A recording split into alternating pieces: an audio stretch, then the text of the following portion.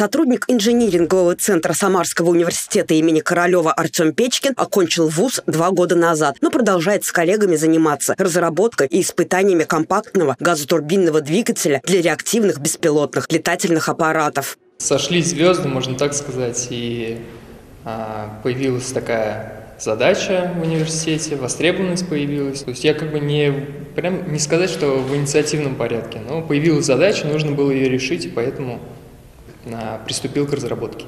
Этот двигатель не только первый опытный образец, разработанный и созданный в университете. Таких газотурбинных двигателей в России нет вообще. Двигатель «Малютка» весит чуть больше двух килограммов. При этом его максимальная тяга должна составить 220 ньютонов. Ученые назвали его «Калибри». Ну, калибр это больше не такое, быстро такое оперативное название, которое нам надо было, в общем-то, именовать двигатель. Вот, ну, калибри, потому что маленький, а, производительный, быстрый, шустрый, вот, исходя из этого, в первую очередь называли.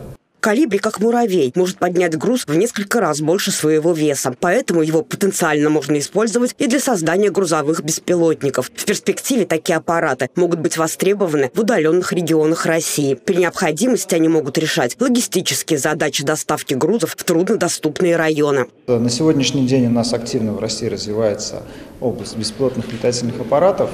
А, и одно из применений данного двигателя – это для а, там, грузовых перевозок, например, то есть это небольшие летательные аппараты, которые достаточно быстро могут а, перевозить очень ну, тяжелые грузы.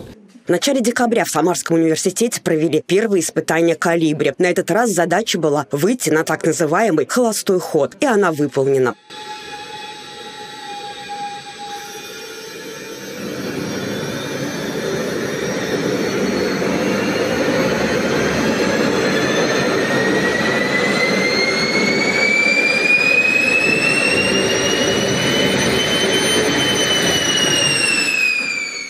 Проходящий испытание «Калибри» самый первый и самый маленький в линейке малоразмерных газотурбинных двигателей. В молодежной лаборатории университета прорабатываются проекты еще двух двигателей «Чайка» и «Орел». В соответствии с птичьими названиями они будут превосходить «Калибри» по размеру, тяге и мощности. Светлана Тимофеева, Игорь Казановский. События.